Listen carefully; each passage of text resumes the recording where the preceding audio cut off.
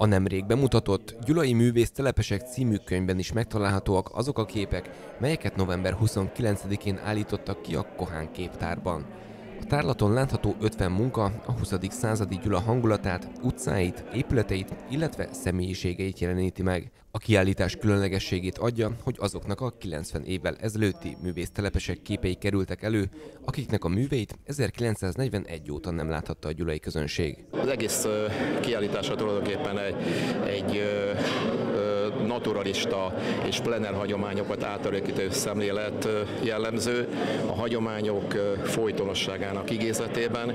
Itt elsősorban a, a németországi közvetítéssel érvényesült plener szemlélet az, ami kiemelendő, és egy olyan tárlat bemutatásáról van szó, amely tulajdonképpen az idő által eltakart, elfedett és a, a ezzel a fedő és fedett rétegeit feltártuk ezeknek a munkáknak. Tárlaton olyan alkotók képeit tekinthették meg a jelenlévők, akik a két világháború közötti időkben Magyarország meghatározó művészei voltak, mint például Horváth Béla, Kohán György vagy Mihálovics Miklós.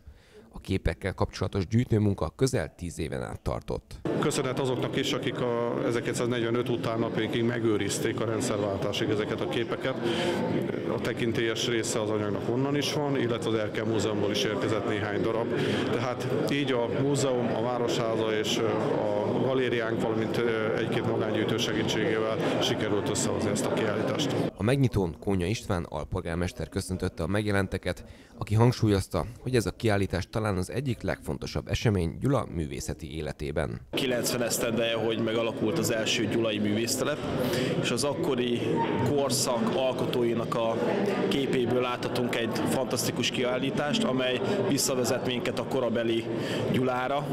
Korabeli utcaképek, hangulatok, érzések, életképek azok, amik megjelennek ezeken a csodálatos festményeken.